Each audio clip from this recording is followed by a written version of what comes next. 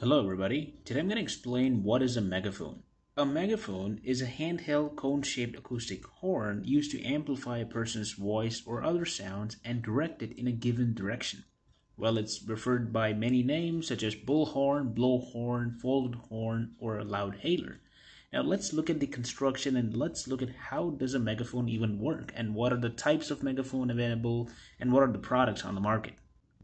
Alright, here's a construction of a megaphone. So inside the megaphone, you can see the blue and the red tubes. So these are the tubes through which the sounds are going to pass and progressively going to get amplified to be heard outside as a loud sound. Now let's look at the working principle in detail. Alright, now let's look at the working principle a megaphone. Consider a human holding the megaphone and speaking into it. So sound is generated from the human and that sound enters the megaphone. So first it enters the blue tube so where it starts to get amplified a little bit. And then it travels back eh, through the red tube getting amplified even further and the third time it travels through the cone uh, and it gets amplified even further thereby coming out as a very loud sound. So this is the working principle uh, of a megaphone. Sound reflects back and forth inside the megaphone, and you know after multiple reflections, the amplitude increases to a great extent, and which is why you know a sound heard out outside the megaphone is pretty loud compared to the input sound. An electric megaphone is an advanced version of an acoustic megaphone which uses electrical power. So it consists of a microphone to capture the input sound and convert it into electrical audio signals. It consists of an amplifier which is powered by the batteries to amplify the electrical audio signals. And finally, a loudspeaker to convert the electrical audio signals back to sound waves and project it out. Now the shape of the megaphone still remains the same, the cones and the tubes, and the amplification is done by both the shape and the electrical amplifier. Now it's possible to achieve amplifications up to 90 to 100 decibel they are slightly heavier than their acoustical counterparts. They're often mimicked as uh, movable PA systems because you can take them anywhere and you can address mass gatherings. This is a frequency response for a typical megaphone. So if you don't know what frequency response means, check out the link in the description below where I have made a video especially on frequency response.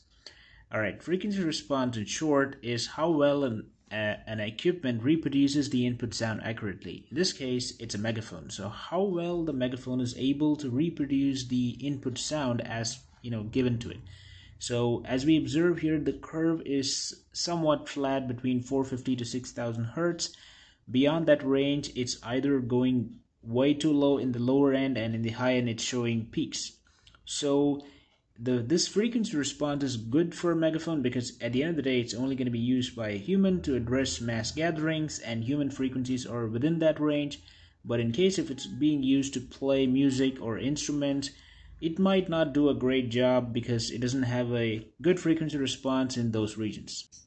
A spectrograph is a graph of sound level versus the frequency.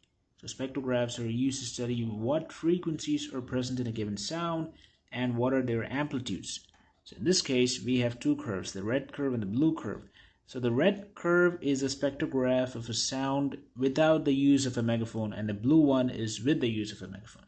Now, this is not real-time data, but this the purpose of this plot is to illustrate the fact that the sound the, the, the sound pressure level coming out of a megaphone is certainly greater than the input sound, which is evident here. Megaphones tend to be directional in their radiation of sound directivity of a, megaphone is dependent on its precise shaping.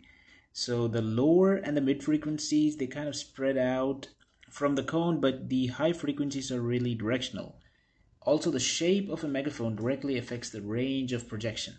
So the narrower horns or the narrower megaphones compensate for lower power by concentrating sound more sharply than the wider horns. Alright, let's look at some megaphones available in the market. So this one is TOA model ER1206. It has a rated power output of 6 watt. This is a Thunder Power 450 version and it has a rated power output of 35 watt. Notice the portable mic in this case, so you know the user need not keep the megaphone close to his mouth. He can simply you know pull the trigger, uh, hold it with one hand, and keep the microphone, the portable microphone, near his mouth. Alright, thank you for watching this video. I hope you enjoyed it. If you have any questions, hit the comments and I'll be sure to respond. Alright, thanks a lot. Have a great day.